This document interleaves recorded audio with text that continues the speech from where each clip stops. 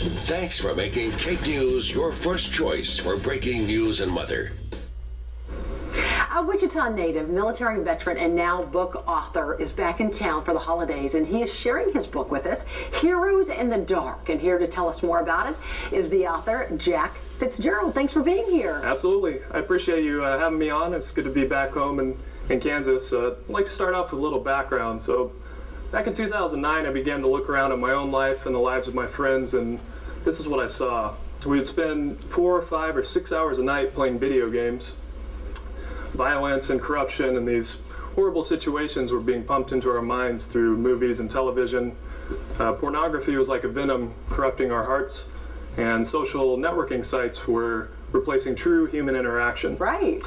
So I began to, you know, see these things, and I started writing. And so, Heroes in the Dark, the book I just released, is a story about a young man named Stephen Fredrickson. He's a recent college graduate, but life's not quite going his way. He can't find a good job. He's moved back in with his parents, and his life is becoming stagnant.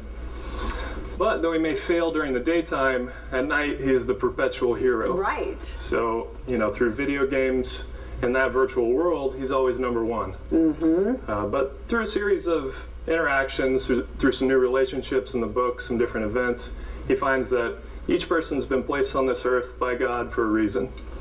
And so he turns away from the virtual life and seeks out the life that God intends him to live. I think that's great. You graduated from East High. I did. Yeah, East High in 06. And look at you now. You're doing a lot of things. He's Absolutely. a physicist, he's an author, he's in the military, he's doing great for himself. Where can people get your book? It can be found through Amazon.com. It's in uh, paperback and Kindle versions. Okay, so go get the book and read it. We appreciate it you sharing this with us. And if you write another one, come back. okay? Absolutely. Thank you for being having me. here. And we'll be right back.